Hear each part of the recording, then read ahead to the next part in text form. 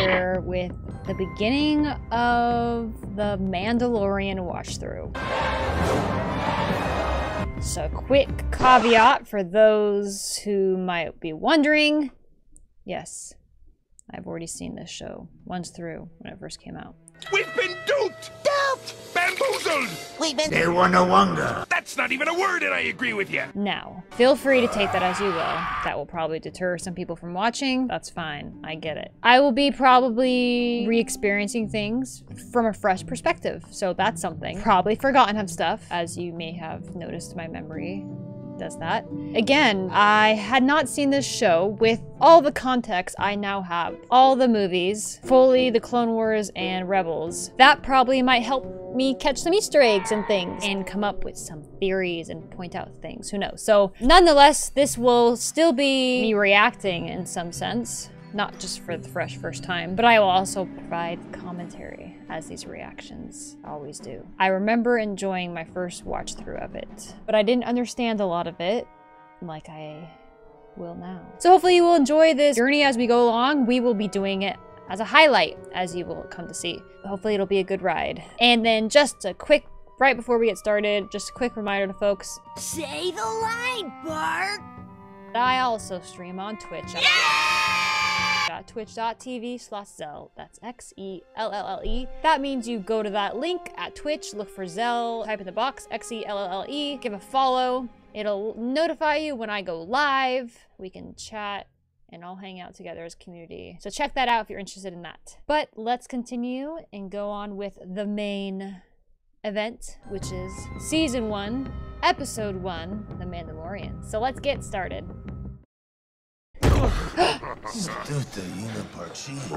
Whoa! That's a pretty well done Quarren, right? I'm paying attention to way more things now. And what race is he? The music. That Mandalorian helmet, though. That person's not making eye contact. That creature on the left.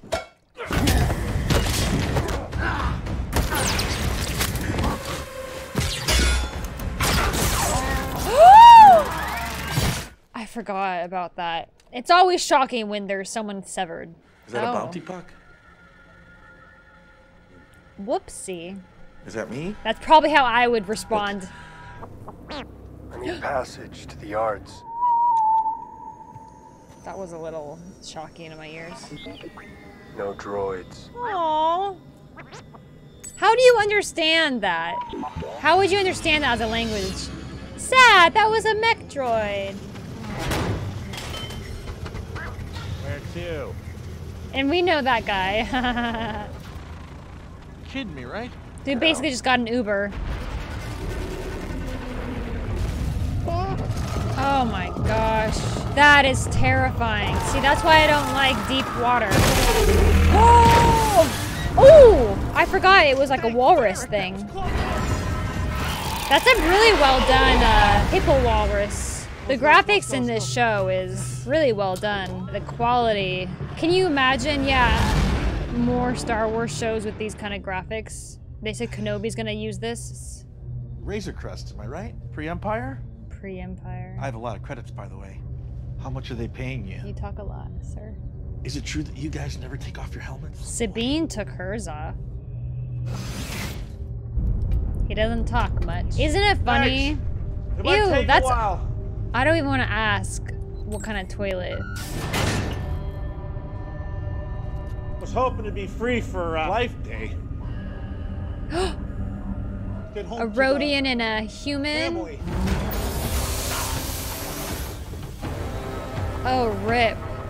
That's a lot of money. Four people? I don't remember all those other carbon frozen people. How convenient is that? Having a carbon freezer on your ship like that, and it had it happen that quickly? Han took a lot longer to... But they said that was an old one, right? Look at all of them, the Rodians. Are those Trandoshians? That look like... Is Embo hat? I mean, it doesn't look like Embo. So they don't know what happens to their bounties afterwards? I don't know if you heard, but the Empire is gone. I can do calamari flan, but I can only pay half. What a funny currency. That's kind of cool looking. Wow, that For four, capturing four people, that better be worth a lot. That won't even cover fuel these days. Wow. There is one job. Uh, oh, they're Let's listening. buck. Jawas! That would be so cool to see Embo or other bounty hunters we saw in the Clone Wars. Oh, he's going to an address. I see. And that's classic from uh, OT. Gonk, droid! All these things I am catching now. Oh, but he... Oh, he is saying gonk. What did they say gonk droids were used for? Were they portable batteries? it makes more sense. They're dirty, too. So they're stormtroopers, like, they've been through some What else did he say? stuff. He said you were the best in the parsec. Do you think some of those, any of those could be clones? Probably not. Also said you were expensive. Hmm. Very expensive. Yeah, Please he's sit. good. This is exciting.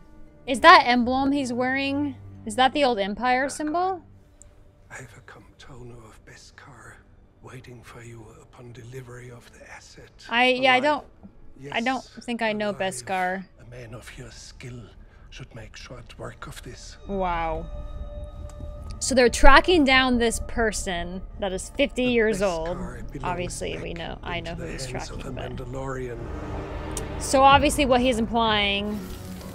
Oh no! Oh no! That was like the creature that was next to Jabba, right? There's a Twi'lek. So I'm guessing Beskar was important to the Mandalorians. I don't recall that being talked about, but I probably missed it somewhere. Look at all the other Mandos. Even kids? I don't remember that being something we saw in their society, in their world. I don't know how much has changed between then and now. But even the kids, only wearing, always wearing helmets. There she is! Yeah, they didn't really emphasize or talk about this much, even in the Clone Wars or Rebels that I recall about the armor and stuff. But I guess this kind of goes over it. And we don't know still who she is. So they were found by the Mandalorians and then brought up in their creed.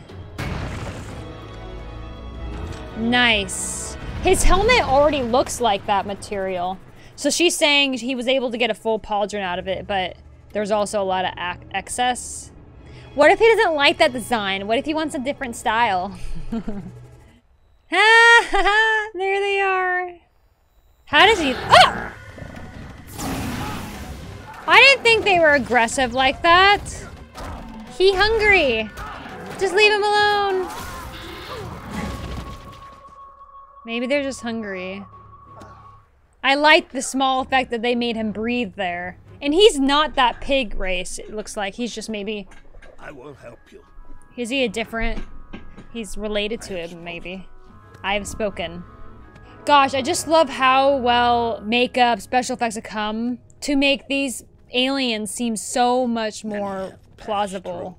Did you help them? Yes, they died. Well, then I don't know if I want your help. This is a female. The males are all eaten during mating. There's no way that species could live real life. Like, the balance, the gravity of it, I mean, maybe. With the things they're able to do, they're not very terrifying. You have a land spear? You are a Mandalorian. Your ancestors rode the great mythosaur. Surely you can ride this young foal. Mm, called out. Easy. I wonder what what made them choose the different species. Be one. There you go. Work with them, not try to overpower them. Plus, having a comfier saddle helps too. See, look at that. The things they're able to jump over. I'm glad they're showing that because they're like, why would he not be able to do that on his own? But yeah, those crevices probably are not easy to go on by foot. Plus, what are they going to do with their little hands? Pick things up? They'll evolve to have to lose those limbs. I have spoken. That's like him saying, I say what I said and I'm done talking now. he has like the most rinky dink looking equipment sometimes. Like that telescope. Like what? Oh, Subparagraph 16 of the Bondsman Guild Protocol waiver compels you hey, I know those creatures. Wow, those bounty droids are insane. Droids. He doesn't like droids. I can't remember why. IG unit, stand down. I'm So did- in the guild. So does he make his own The element of choice? These droids act on their I've own? the of- You are, as of yet, empty-handed. This is true. I have a suggestion. Proceed. This is true. Split the merits associated with His legs the make me mission. Talk about uncomfortable. later. I didn't know they had green ones. I will initiate self-destruct sequencing. Whoa, you're what? Do not self-destruct. He's like, uh, don't self-destruct. That's a lot of covered fire. And that's a lot of trust that he's putting on the droid. Uh-oh. I will initiate self-destruct. Do not self-destruct. We're shooting our way out. Why? Uh, Beginning self-destruct countdown. No, stop. stop self-destructing. Ooh, seeing him run. Oh, man. Oh. Hopefully that's everybody. You know, you're not so bad for a droid. Agreed. That blast rate looks nasty. I agree, okay? I'm not. Running a quick dive. That's a really strong gun. Wow.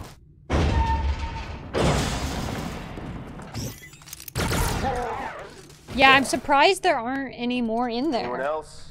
Yeah, they don't know, uh... They said 50 years old. Species age differently. Perhaps Oh it could live my- centuries. Gosh. Sadly,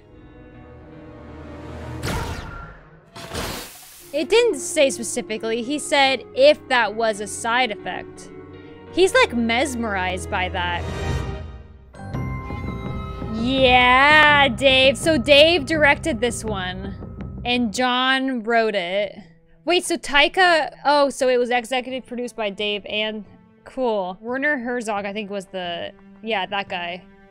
I don't know who was Taika in this. It's just is Taika the bounty droid? But yeah, so either way, um, really cool to see that. I like the vibe it has that it's focusing on just the everyday of bounty hunting, the background of the Mandalorians with their more traditional roles and like behind the scenes stuff, which is like with the armor and making their pieces, bringing their tradition back to to light and stuff, and talking a little bit. They start to introduce that a little bit. I really like the show brings high quality special effects, not just in the sceneries, but in the creatures such as the Borg and the different alien creatures that come to like really well done. Like if you, you could see that yourself interacting with them, like if they do a good job with that. So I like to see that like it's really exciting to have our technology be up to par where a lot of these sci-fi stories and creatures can come to life for what they were actually visualized as to make it seem plausible in our real in our life, right? Obviously, questions about that creature one like 50 years at a baby and still being a baby, who knows how long to age. Wow. Can you imagine having a child you depend on you for 50 years? What was it doing in there? How did those people get a hold of it? Why were they keeping it alive, covered with other things? Did they know it was in there? Did they know what it was? And why are they trying to capture it? So a lot of these questions come to mind. Yeah, I really enjoyed seeing this again. I'm excited to see the rest of it. There's definitely some, there are major elements, obviously, of the story, I remember, but there's some subtle things um, in the shows that I don't remember. So I'm excited to re-experience that and piece together things maybe I wasn't able to the first time. So thanks for watching along with me. If you have any comments or information about this particular episode, feel free to, share that. I would hold off on anything beyond this episode for now until we get through it. We'll just go along per episode base. And if you enjoyed the commentary and enjoyed the video we put together, give the video an upvote. Subscribe if you haven't. If you're curious to seeing the rest of this journey and with this video, feel free to subscribe so it'll let you know. These will be coming up every Friday for the duration of the show. And in the meantime, thanks again, guys. Appreciate all your support and hanging out on the channel. And I will see you on the next one.